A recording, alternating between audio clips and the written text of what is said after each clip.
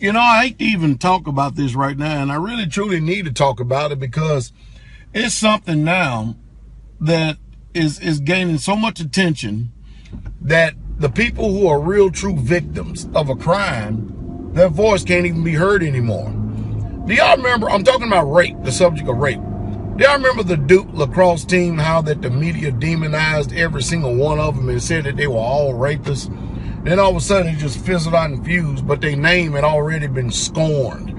Um, had already been, you know, drugged through the mud and everything. And who in the world would want to go and play lacrosse at Duke? Well, come to find out that it was all made up and none of it was true. Then when the news media came out uh, to break the story, no, as I said, break the story, that what they said about this Duke lacrosse team was not true. It was buried on page 15D or something like that. And it was just utterly amazing. But, but you know, as soon as they got the ear and the attention of people that could actually um, throw mud on this program and make it look bad, man, they, they wasted not an opportunity to be able to do that, boy. You know why? Because smut sells. Well, anyway, and then, hey, that was another one over UVA. UVA, there was this woman who um said that she was raped by some guy in a chemistry class over at a frat party or something like that, if my memory serves me correct. Um, then next thing you know, everybody goes and breaks out the windows of the frat house, spray paints it and everything, marching and carrying on, and and and, and I mean just a just a protest of the protest.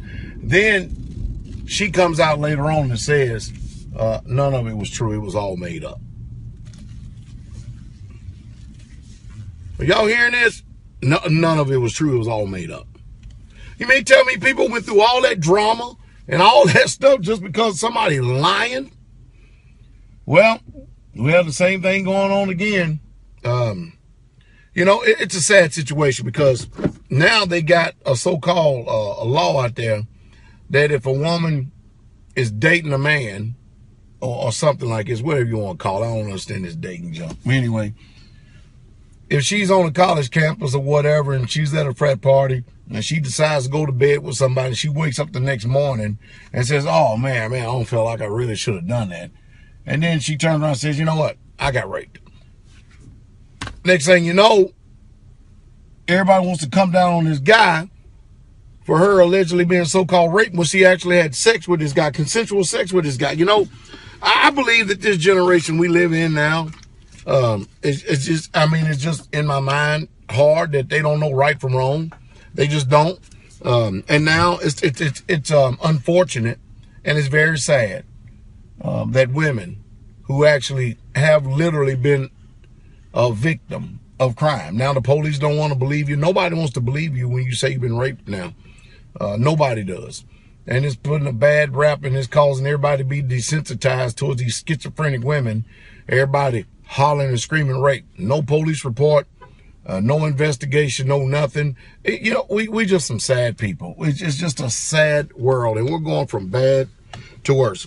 You know, and again, I think my, my anger in this particular instance here is just a simple fact that you've got people who have literally, legitimately, um, even hate to even say that word, you know, in this context right here, but I know you know what I'm saying. Have mercy on me if you don't. Um, who have actually been a literal victim of a crime. And now their voice is, is not even really heard nowadays because people are hearing, they've been raped so much and now nobody's even paying attention um, to the voice of the woman that is really, truly um, had a crime impelled upon her. It's just a sad situation.